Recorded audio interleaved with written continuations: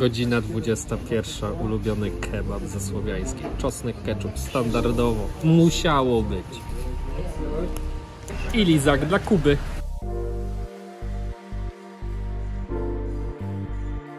Dzień dobry, dzień dobry kochani, witam się z Wami w nowym filmie. Tą stylóweczką Was przywitałam i chciałabym przy okazji zaznaczyć, że wszystkie rzeczy, które mam na sobie są z Umpexu właśnie. Oprócz skarpetek, majteczek i stenika.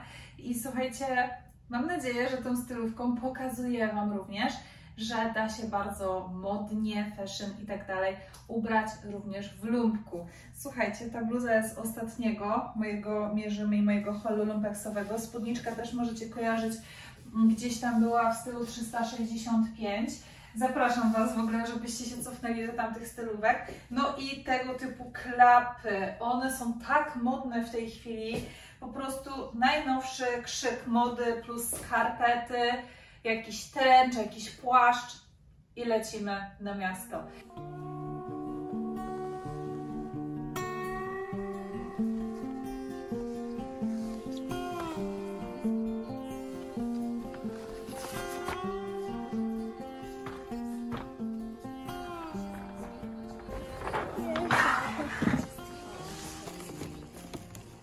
No to. A. 70 zł? Nie, czekaj. Zapierasz go? Przywiązałem się do niego. I co teraz? Możemy mieć dwa, czy nie pasują?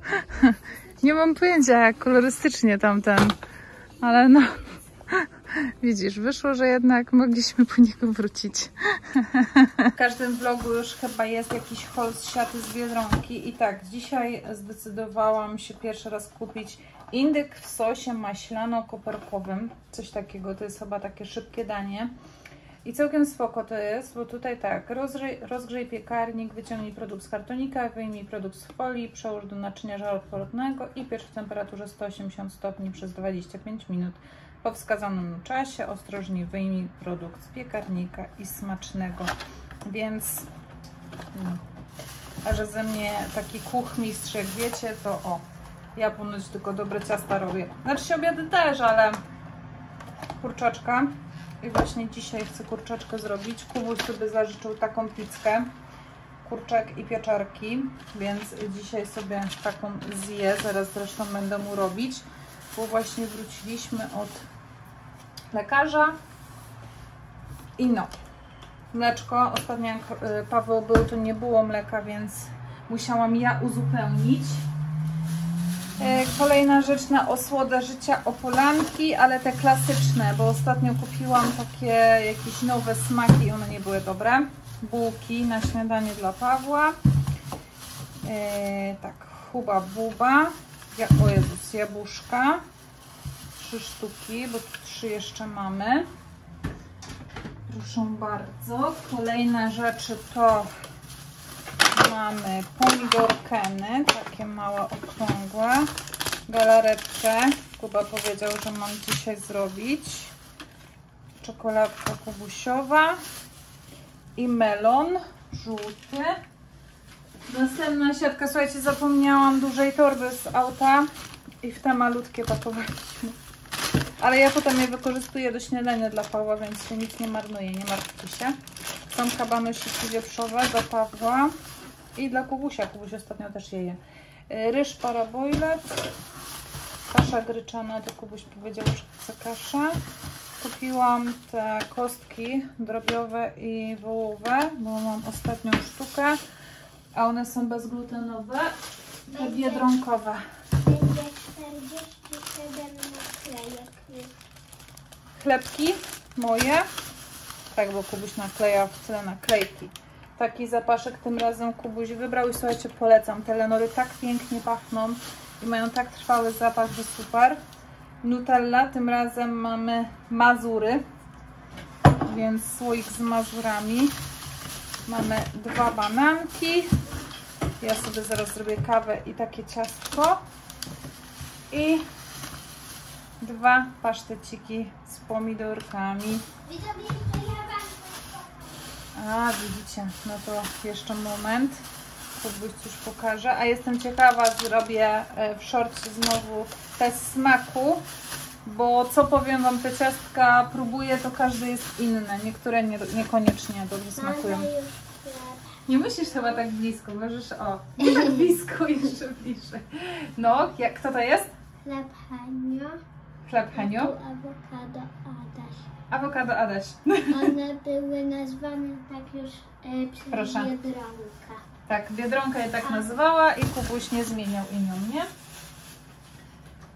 Tu już jest cała lista.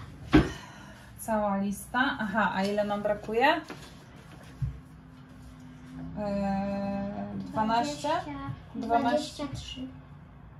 O, ile mamy? Jak 23? A, Czekaj, coś 2, mi się 4, tam- 6, 8, 10, yy, 12, 13.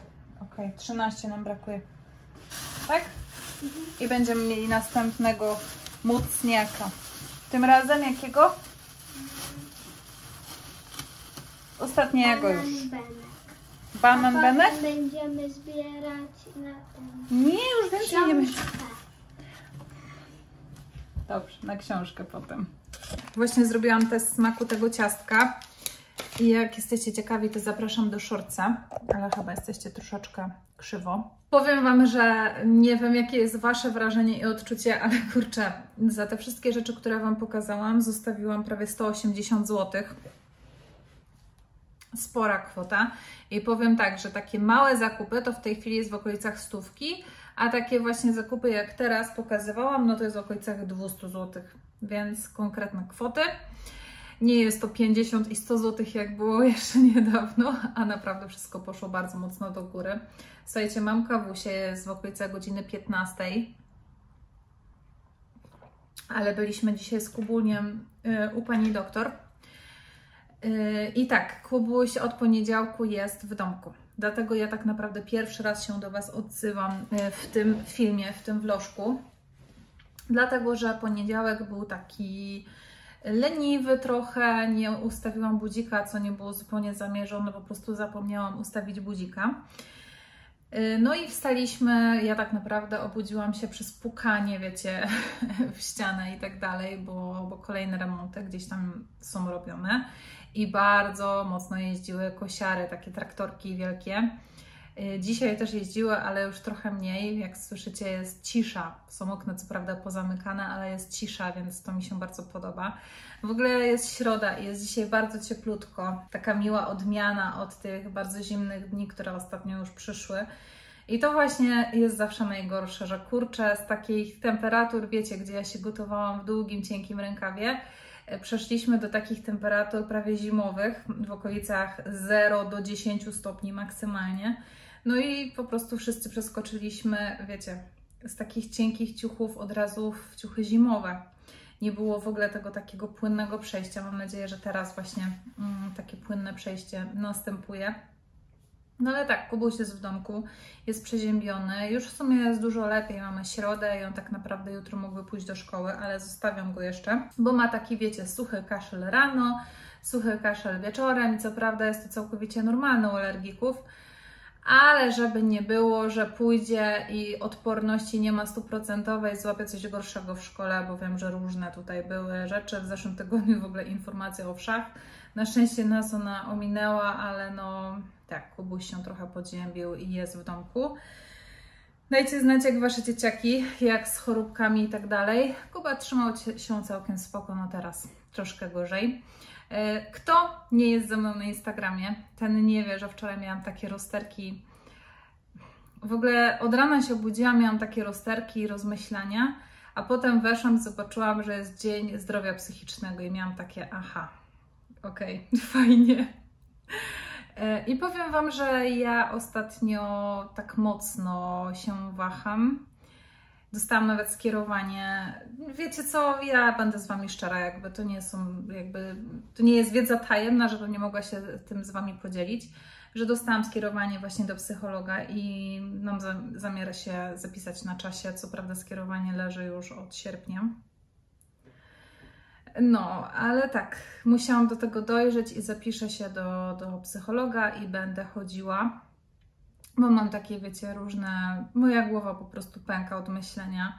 Mam dosyć już takiego myślenia i tak dalej, takich bardzo niefajnych myśli egzystencjonalnych i co dalej, wiecie, co dalej robić, włączając w to YouTube'a, czy dalej tu być, czy, czy nie być, czy sobie dać spokój, E, bo jakby ilość pracy, którą wkładam w prowadzenie tego kanału jest niewspółmierna z tym, co dostaję e, w zamian, więc mam takie, wiecie, rozkminki.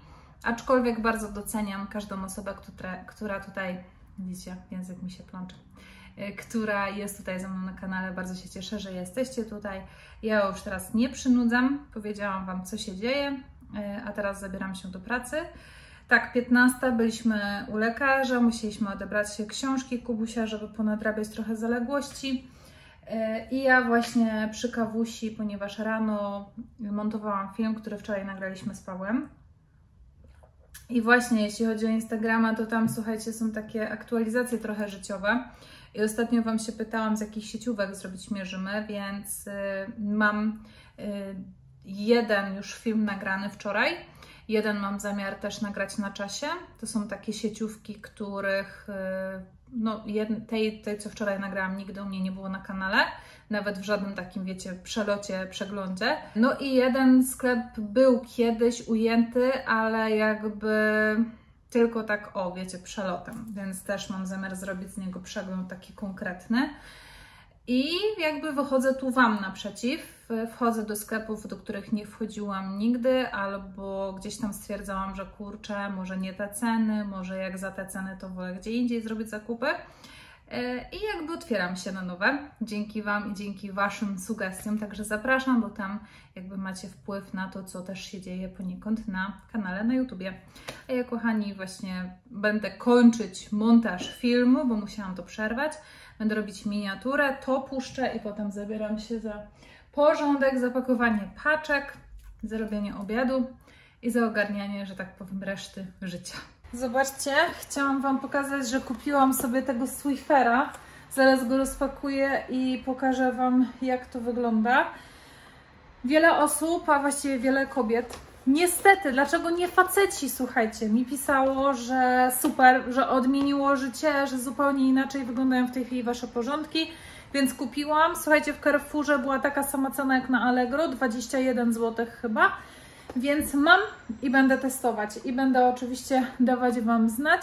No ja i tak będę, że tak powiem, stół, yy, wiecie, płynem i ściereczką traktować ale całą resztę będę tym i zobaczymy. Na pewno przyspieszy to moje porządki. Otworzyłam sobie już kartonik i tak w środku, bo tutaj mamy informację, że jest jedna ta łapka i cztery te takie no bezpośrednio do sprzątania, tak?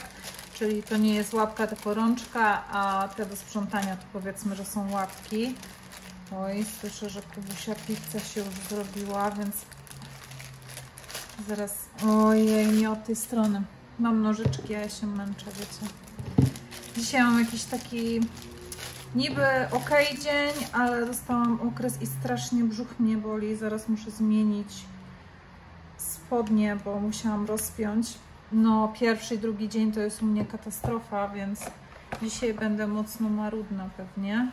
Jak to sprawdzam na węch ale nie pachnie to jakoś, jakoś specjalnie inaczej. I teraz według instrukcji jest tak, że mam to chyba... Czekajcie. Tak, to mam tu wsadzić. Nie. Tu. Chyba tu. Tak. Chyba tak. Chyba dobrze. Chyba tak to ma wyglądać. Zresztą tak jak tak, tak jak według instrukcji, widzicie? O, to tak to się prezentuje, a to jest moja łapka do sprzątania. Dobra, posprzątam i dam info, pokażę co zabrałam, a dzisiaj nie wycierałam kurzy, także zobaczymy. Dobra, wracam z update'em tak wygląda po pierwszych porządkach. tutaj w dużym pokoju i powiem Wam, że powycierałam też takie powierzchnie jak lustra. Tutaj jeszcze przejadę moją ramkę od Kubusia i powiem Wam, że rewelacja. Ja na razie jestem zachwycona, zobaczymy jak będzie później, ale na tą chwilę bomba. Na Insta już o tym mówiłam. Pojechałam na strych i skończyło się z ogłoszeniem zadymienia do straży pożarnej. Przyjechało 5 albo 6 zastępów, przyjechała policja. Ja się cofnęłam po Kubę, zjechaliśmy na dół, no bo jako osoba zgłaszająca miałam czekać na strażaków, ale jak zjechałam, to już strażacy, słuchajcie, wchodzili do windy, więc zajęło im to może z 5 minut maksymalnie. Ale tak wjechałam na górę i tak drapie mnie w gardle cały czas. Głowa mi pęka, więc yy, ilość dymu, jaka tam była, to była tragedia. Yy, ale tak, pierwsze co to powiadomiłam ludzi, którzy tam mieszkali naprzeciwko, więc yy, od razu jak otworzyli drzwi, to cały dym wjechał im, znaczy no nie cały, ale część dymu wjechała im do mieszkania. Od razu zobaczyli, ja mówię, słuchajcie, chyba się pali strych. O Boże, rzeczywiście, nie? Więc pierwsze co to wzięli jakieś tam rzeczy i wychodzili. No i podjęliśmy decyzję, że zgłaszamy na straż pożarną, no bo nie było widać skąd się pali.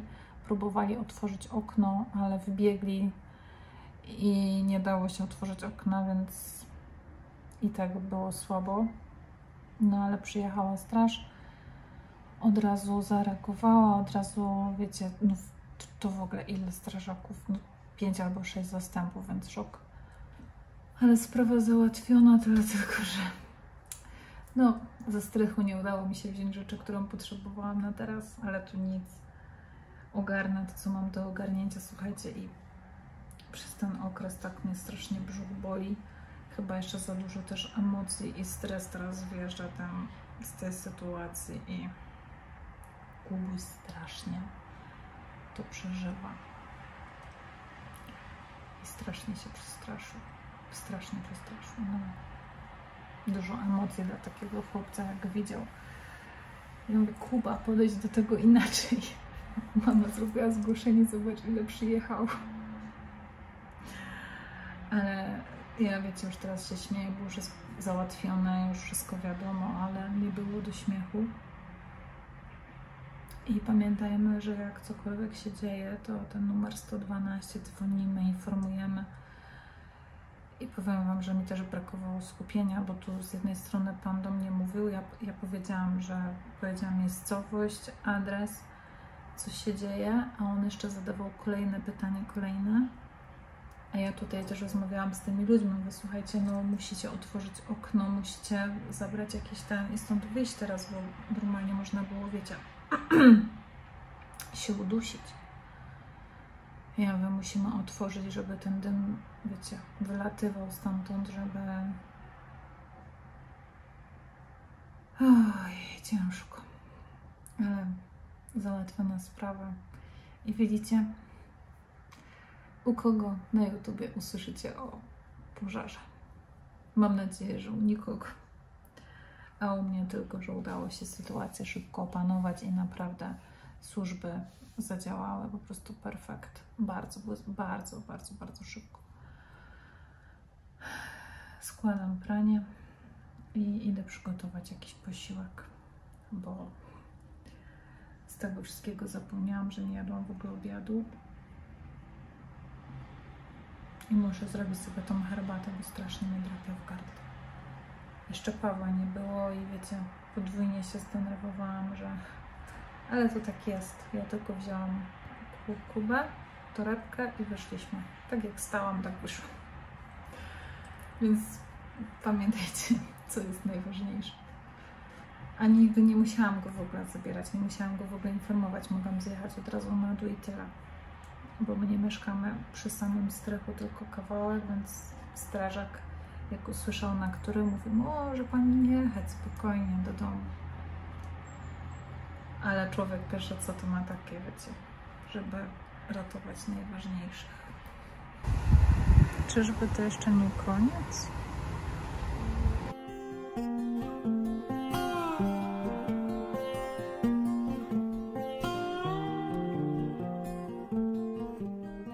Tak, właśnie. Jak widzieliście, to, to jest moje śniadanko. Kubusia są nuleśniki. To się Kubuś tak sobie nazwał naleśniki z nutellą, bo y, je już teraz tylko z nutellą. Wczoraj było podejście do mojego masła orzechowego, ale nie podeszło mu za bardzo.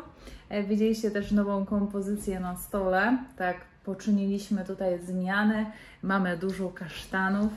E, Mamy też świeczki, a dzisiaj jest bardzo ciemny dzień, więc wspomagamy się klimatem świeczek, żeby było tak ciepło, cozy i po prostu przytulnie. Witam się z Wami w nowym dniu. I słuchajcie, nie ma czwartku, jest już piątek. Wczoraj cały dzień przeleciał mi tak. Kurczę, wydarzenia ze środy, gdzie najpierw bardzo dużo informacji, potem jeszcze wizyta, potem różne rzeczy, a zakończenie dnia z tym pożarem. E, Słuchajcie, tak wypompowały mnie z wszelkiej energii, że wczoraj nie wiem, nie wiem co się stało, ale wiem, że ogarniałam jakby pracę, ogarniałam życie, ogarniałam Kubusia szkołę, posiłki i wszystko, ale jakbym miała teraz powiedzieć, co robiłam, nie wiem. Wiem, że jak Paweł wrócił z pracy, to słuchajcie, wypiliśmy, bo mamy taki swój schemat, wypiliśmy kawę, porozmawialiśmy, co się działo u niego w pracy, co się działo tutaj w domu i z Kubusiem. I wiecie co, potem Paweł poszedł się kąpać, mówi, kurczę, jakoś tak y, słabo chyba wyglądasz, może się zdrzemnij.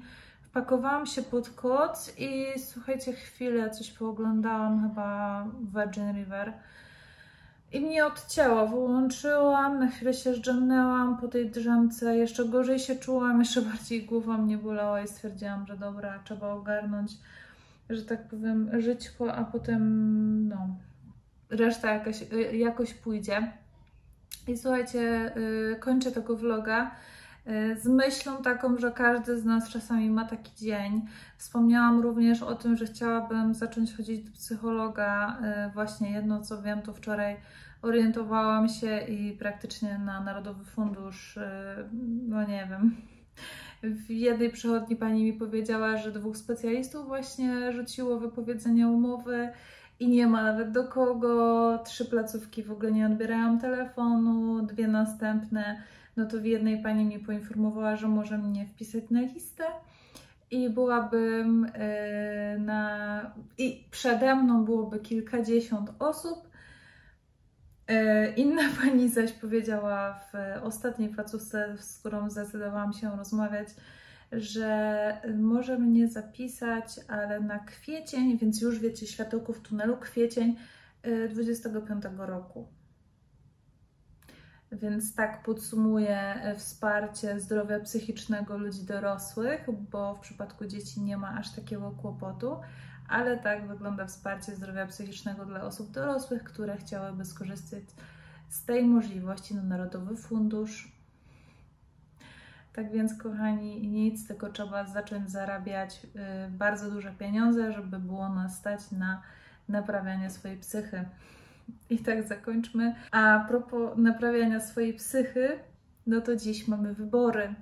I bardzo serdecznie zapraszam Was i mam nadzieję, że wszyscy, którzy oglądają ten film i są pełnoletni, pójdą złożą swój podpis, y, wybiorą, bo mamy do tego pełne prawo i niezależnie od tego, na kogo będziecie głosować, ja nie będę tutaj nikomu, wiecie, przykazywać i lobować za jakąś partią polityczną, ale po prostu iście i zagłosujcie i pokażcie, że każdy głos ma znaczenie. Nawet jakbyście chcieli unieważnić swój głos, to też, wiecie, w statystykach będziecie ujęci, nie będziecie jako osoba, która nie istnieje. Tak więc, kochani, mam nadzieję, że wszyscy się stawicie na wyborach. E, Ja z Pawłem na pewno pójdziemy e, i złożymy swój głos. No i zobaczymy, zobaczymy, co nas będzie czekało po tych wyborach. Trzymajmy kciuki, aby było lepiej, aby żyło nam się w Polsce lepiej. I z taką myślą Was zostawiam, kochani. Widzimy się w następnych filmach.